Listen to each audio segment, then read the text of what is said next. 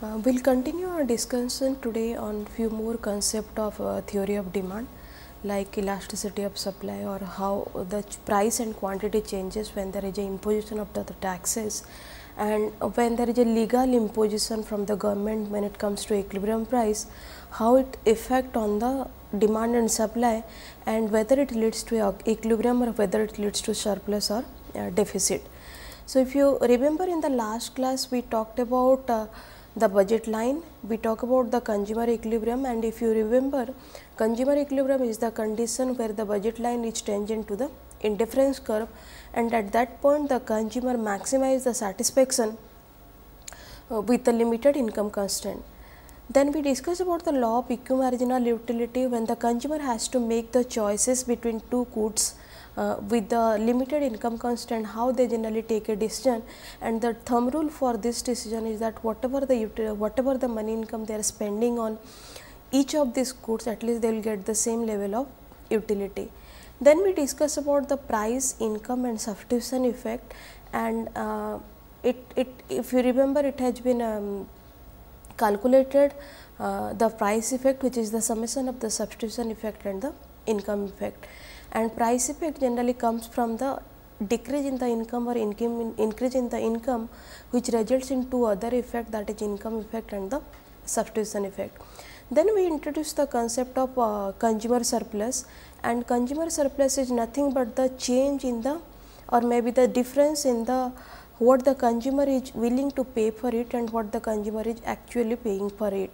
Suppose if you have a plan for a typical range of goods and when you are going to market and you are paying a different market price for it, whatever you would wish to pay for it or willing to pay for it and what actually you are paying, the difference is generally known as the consumer surplus. So, today we will take a numerical example to understand the concept of the consumer surplus. So, if the numerical example we have one uh, demand function that is P is equal to uh, 40 minus 2 Q and uh, suppose this is the demand function of the petrol and initially the petrol price is 25 rupees and uh, there is a imposition of tariff from the government and that leads to increase in the uh, increase in the price of petrol from 25 rupees to rupees 28. Then we have one additional information the weekly income of the consumer is equal to rupees 3000. Now, we will see uh, with the help of this uh, information how we can uh, how we can uh, find out what is the consumer surplus. So, we need to calculate the consumer surplus surplus or maybe we can say the loss in the consumer surplus from due to increase in the price to from 25 to 28 per liter. Now, what is the first thing we need to do?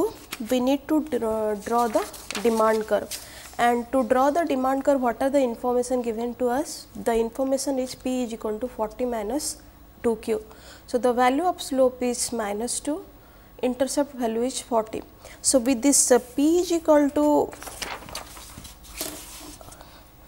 uh, 40 minus 2 Q, we will see how we can draw the demand curve over here first need to find out what is the extreme value of P and Q. Uh, P and Q of petrol okay because here P is the here is the good is petrol. So, we need to find out what is the extreme value of P and what is the extreme value of Q. So, putting Q is equal to 0 in the equation we get P is equal to 40 and when we put P is equal to 0 then Q is equal to 20.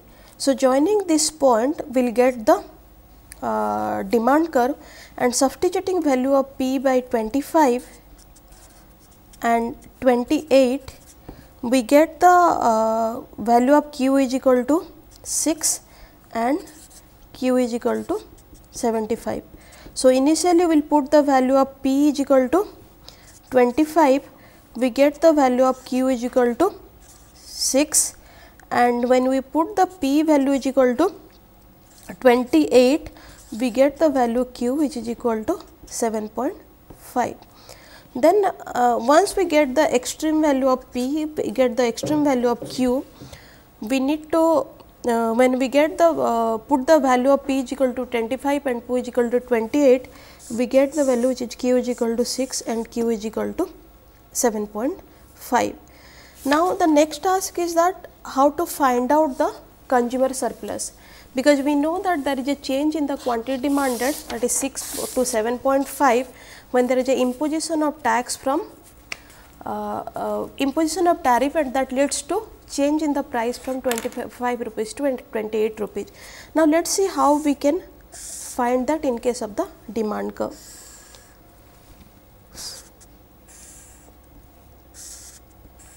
So, this is 25, this is 28, this is uh, this is maybe 6 and this may be 7.5. Now, how we will find out the consumer surplus? So, 0.5 multiplied by 40 minus 25 into 7.5 that gives us the consumer surplus when the price is equal to 25. Now, when the price increase to 28 then this is the 0.5 40 minus 28 multiplied by 6. So, this will give us 6 this will gives us 75 7.5 we get that is the that gives us the value which is equal to rupees 36. So, the first one is uh, 56.25 and the second one gives us the uh, value which is equal to 36. So, what is the loss in the consumer surplus? Loss in the consumer surplus is 56.25 minus 36 which gives us the value which is equal to 20 into 25. Okay. So, this is price is 25 quantity demanded is 7.5 price increases from 25 to 28 quantity demanded is 6. When the price was 25 this is the total consumer surplus this triangle. But when the price increases from 25 to 28 this is the consumer surplus. Now, because of increase in the price the loss in the consumer surplus is this area. So, this total area suppose this is A, this is B and C initially when the consumer surplus is A, B, C, the total consumer surplus is 56.25 and how we have got this? This is to find out the area of any triangle, what is the formula? The formula is half into base into price. So, 0.5 multiplied by 40.25 that gives us the base, uh, gives us the price and 7.5 gives us the base. So, in this case 56.25 is the consumer surplus, price increases from 25 to 28 that leads to increase in the decrease in the quantity demanded from 7.5 to 6 and also this area is the loss in the consumer surplus. So, the loss in the consumer surplus how to find out? If you find out the area before uh, change in the price what is the area of consumer surplus and what is the area of consumer surplus after changing the price. So, after changing the price A B 1 C 1 is the change in the or maybe the new consumer surplus that leads to how to find out what is the value for this again the same formula to find out the value in a triangle that is 0.5 multiplied by base into price. So, 40 minus 28 is the price and 6 is the base that leads to 36 and uh, the, in this case the difference between the consumer surplus is 56 minus 25 minus 36 leads to 20.25. So, as we know if you remember in the previous class this loss in the consumer surplus has two parts because the change in the consumer surplus is due to change in the price. So, the entire loss in the consumer surplus has two parts one is producer surplus and second one is the deadweight loss. Producer surplus is what the amount what goes to the producer account because of change in the price and deadweight loss generally uh, not a part of consumer account or producer account because it neither goes to the consumer nor goes to the producer. This is basically the loss in the quantity demanded due to change in the price. So, now in this case we have identified what is the consumer surplus before and after changing price and we have also identified what is the loss in the consumer surplus. So, the loss in the consumer surplus is 20.25 what we have got over here. Now, we will see this 20.25 how much goes to the deadweight loss and how much goes to the uh, into the account of producer in the form of the producer surplus. Now, how we will find out what is uh, how much amount goes to the producer and how much amount goes to the deadweight loss. So, producer goes to the the total amount what goes to the producer is the increase in the price and the maybe the what is the change in the price and whatever the change in the quantity demanded. So, we will see what is producer surplus over here.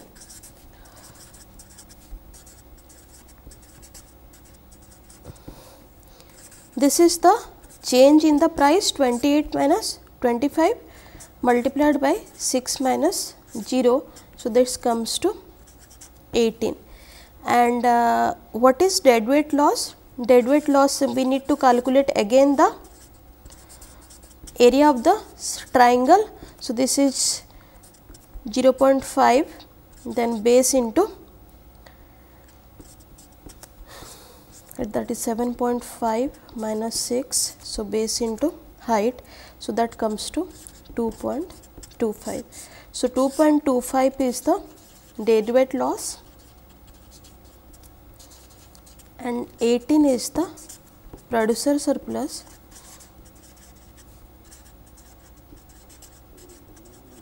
if you add 18 and 2.25 that gives us the loss in the consumer surplus that is 20.25. So, generally this consumer surplus also the application of the consumer surplus in the um, real world scenario when there is a imposition of tariff or when the price changes the market price changes generally whatever the consumer surplus the consumer is uh, getting uh, that gets reduces and the reduction in the consumer surplus partly goes to the producer account in the form of increase in the price and partly generally goes in the form of the deadweight loss because neither it is a part of the consumer account nor it is part of the producer account. Then we will come to the um, uh, some new topics today, new concept of theory of demand or some more concept of theory of demand like elasticity of supply. This is just the counterpart of relationship between price and supply. Uh, if you remember the same thing what we discussed in the context of uh, price and quantity demanded in case of elasticity of demand, then the when there is a imposition of tax how it leads to or what kind of effect it has on the price and quantity and when the price fixed by uh, law or when the when the government fixes up the price maybe in terms of ceiling price or the floor price what happens to the quantity demanded what happens to the price. So, we will start the concept elasticity of supply and elasticity of supply is nothing but the relationship between the price and quantity supply. So, as law of supply says that there is a positive relationship between the price and supply. So, whenever there is a increase in the price there is a there is a increase in the quantity supplied and whenever there is a decrease in the price also there is a decrease in the quantity supply. It means there is a positive relationship between the price and quantity supply. But elasticity of supply will help us to identify what is the magnitude of change in the quantity supply when there is a change in the price. So, suppose if price changes by 2 percent whether the quantity supply also changes by 2 percent or the quantity supply changes more than 2 percent or quantity supply changes less than 2 percent. What is the sensitivity of the sellers or what is the sensitivity of the supplier when there is a increase or decrease in the price that we capture through the elasticity of supply. So, if the su- supplier is more sensitive generally the elasticity of supply is on a higher side. If the supply is less sensitive then the elasticity of supply is on a, a lower side. So, if it is higher side then it is a elastic, if it is lower side then it is a case of the inelastic supply. So, elasticity of supply is nothing but the measurement of sensitivity of the supplier with respect to change in the price in both the direction when there is a increase and when there is a decrease in the price of the goods. So, how to calculate this elasticity of supply?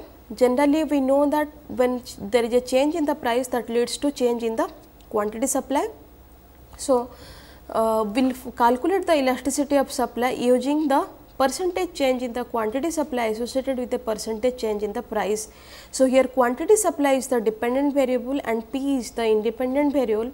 Whenever there is a change in the P that leads to change in the quantity supply and elasticity of supply the captures the percentage change in the quantity supply associated with the percentage change in the price. Now, what is uh, elastic supply?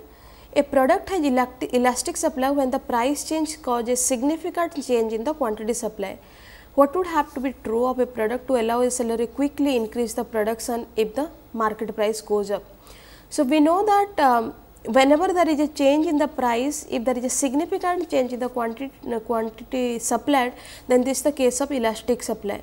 But here the maybe when you take this to a real world situation, here the question comes is it possible to produce the seller immediately when there is a increase in the price whether it is possible to increase the production immediately because there is a timeline required or there is a time period required to produce the product. So, we can interpret in a different way that whatever getting produced by the producer everything is not getting sold in the market. Part of it always there in the inventory or part of it always there in the stock.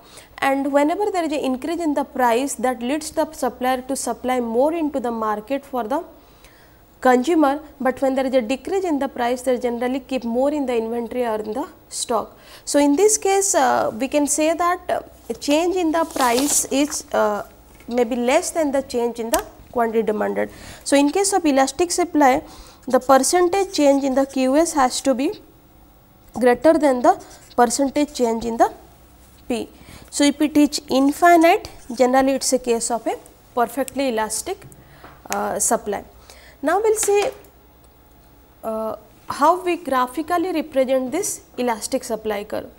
Generally if you look at in case of uh, highly elastic whether it is supply whether it is demand curve the slope is generally high and that leads to the flatter supply curve. So, if price changes the quantity supplied changes a lot it means any small change in the price leads to a good amount of change in the quantity supply and that is the reason the slope is on a higher side and this creates a flatter curve. So, if you look at uh, the graph in the slide Q is the Q is represented in the x axis that is the quantity and P is represented on the y axis that is the price. Initially the price is P1, quantity demanded is Q1. Now when the P price increases from P1 to P2, quantity demanded also increases from Q1 to Q2 and that leads to a greater change in the quantity demanded when there is a small change in the price. So, if you look at in the graph then Q1 and Q2 is greater than much much much greater than P1 and P2 and we can interpret here is that this is the case of elastic supply curve because any small change in the price leads to a greater change in the quantity supply. So, in case of elastic supply curve the supply curve is always flatter and because the change in the quantity supply is more than the change in the price associated with this. Then we will see how it happens in case of a inelastic supply and inelastic supply is one where the price changes causes very little change in the quantity supply. It means the percentage change in the quantity supply is less than the percentage change in the P. It means it may ha happen because of two things either the time required to produce the product is significant.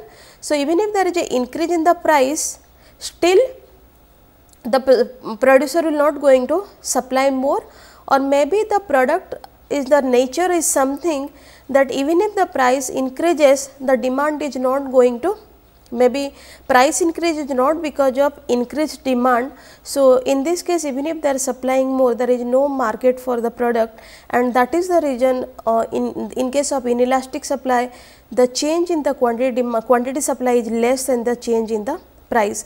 And the typical example we can take of a handicraft uh, furniture or the diamonds, they are the high value goods and even if the price increases, it is not the demand is going to increase or maybe the time required to produce because there is always a limited supply. So, even if the price increases, the uh, supplier immediately not matching with the change in the price and that is the reason this is known this type of goods comes under inelastic supply because it cannot be match immediately the increase in the price cannot be matched immediately. Now, we will see how, how the slope of the inelastic supply curve. If the market price goes up, but the supplier cannot increase production very much, this is the scenario of an inelastic supply curve and this generally creates a steeper curve.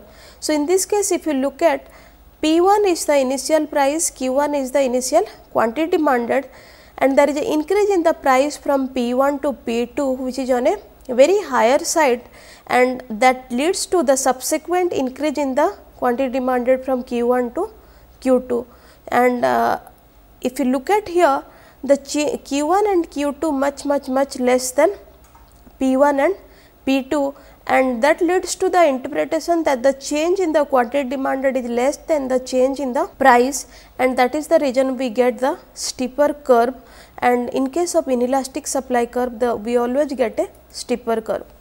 Now, we will interpret the different value of uh, elasticity if the elasticity of supply taking value of 1, 0 or infinite or less than 0 or greater than 1, how we generally interpret the elasticity of supply.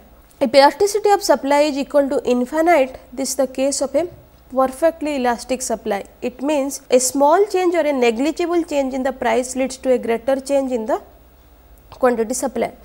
If elasticity of supply is greater than 1, it is a case of elastic supply as we discussed previously.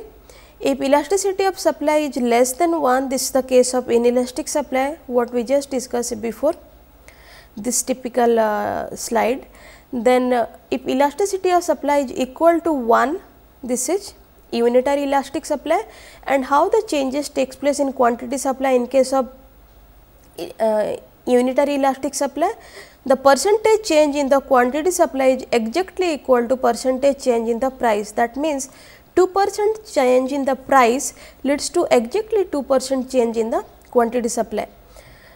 Elasticity of supply is equal to 0 that is the perfectly inelastic supply. So, one extreme is when elasticity of supply takes the value which is equal to infinite, it means the negligible change in the price leads to a greater change in the elasticity of supply.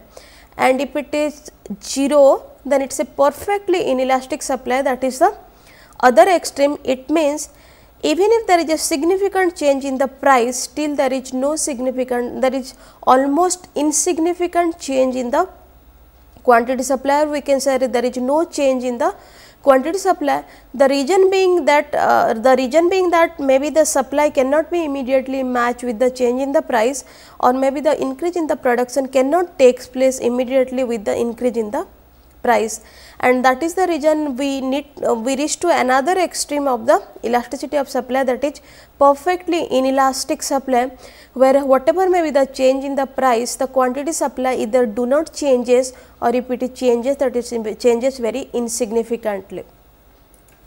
Then we will say in a typical supply curve uh, what is the range of elastic or what is the range of inelastic or when the supply curve is a straight line then what how we interpret the value.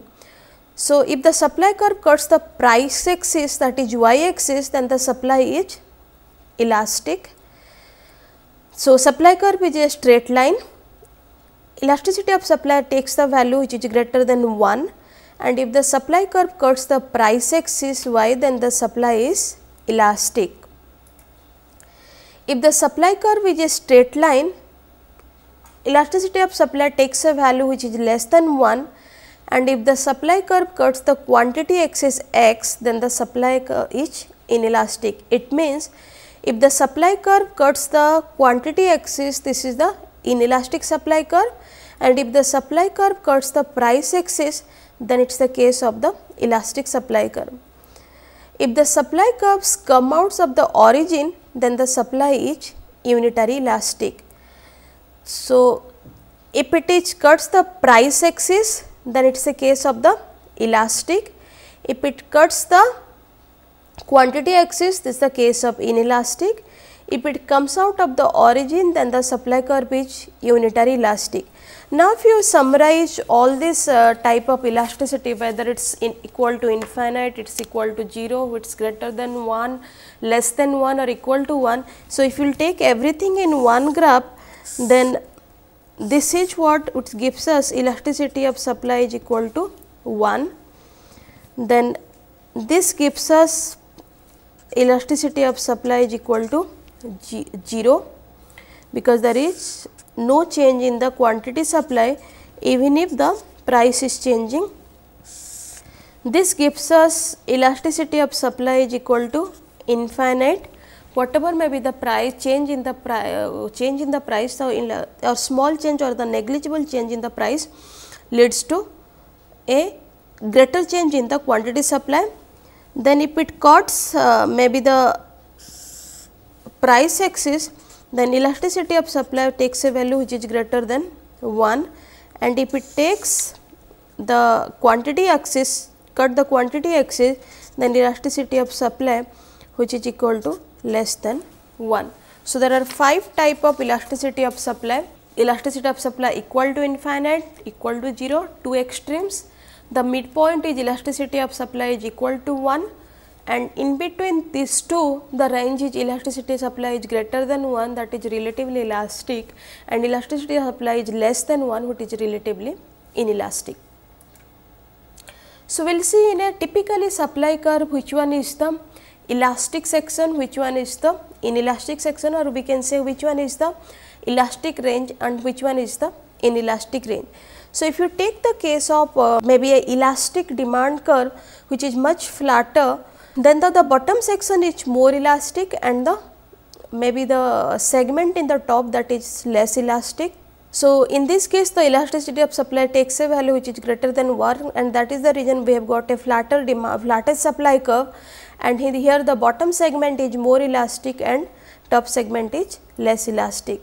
Similarly, if you take a inelastic supply curve the bottom one is more elastic and the top one is less elastic. So, in a typical supply curve in the different segment we get the different value of elasticity of supply. Now, we will see what are the factor that influences the elasticity of supply like uh, or what are the uh, specific uh, uh, factor those influence the supply has to be elastic or supply has to be inelastic.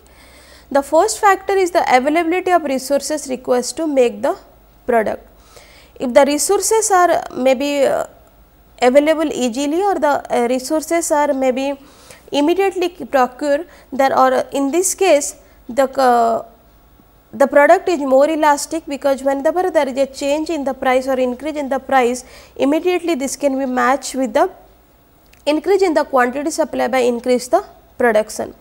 Then what is the amount of time required to make the product that decides whether the supply has to be elastic or supply has to be inelastic. If the time required to make the product is high, then the supply, supply is inelastic because it cannot be the change in the price immediately cannot change with the in immediately cannot match with the change in the quantity supply. But if the amount of time required to make the product is less, then in this case this is the case of a elastic supply because immediately it can be matched. So, the supplier can uh, react to the change in the price immediately. Skill level of the worker needed to make the product. If the worker are skilled, then maybe the time required is less to produce the product and that is the reason the supply curve is elastic.